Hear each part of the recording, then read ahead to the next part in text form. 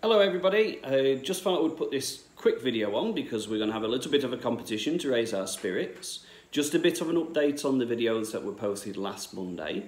Thank you very much for all the fantastic comments and I've been seeing lots of people doing the activities which is great.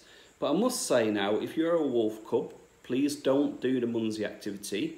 Wait until the sanctions by the government have been relaxed and then you can go out and do it. The Munsey Trail is there indefinitely. It's going to be there for years to come. So it's an activity you can revisit later on, and I'll tell you when we can do that. Scouts, similarly, please don't do your tree identification. Unless you've got quite a few trees in your garden, I would suggest you don't go out. We need to follow the government guidelines now. We need to be sensible and be good scouts. Beavers, you've been doing great jobs with your A to Z uh, scavenger hunts. I've seen some fantastic photos. Keep up the good work with that. The new videos are going to be posted on Monday, and from Monday, the activities in the videos will be things you can do inside or you can do in your garden, so there'll be no need to go outside.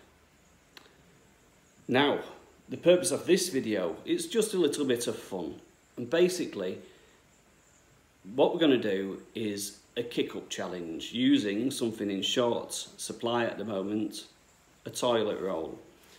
This is Andrex Puppies on a roll. You can use any toilet roll you want, but if you don't have any toilet roll, you could use a ball, but it's a bit boring. So toilet roll.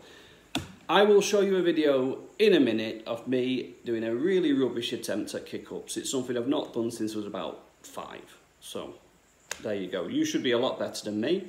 Try and do as many kick-ups as you can.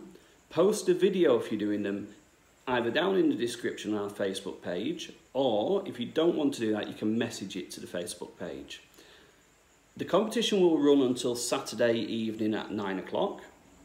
After that time, entries will be closed.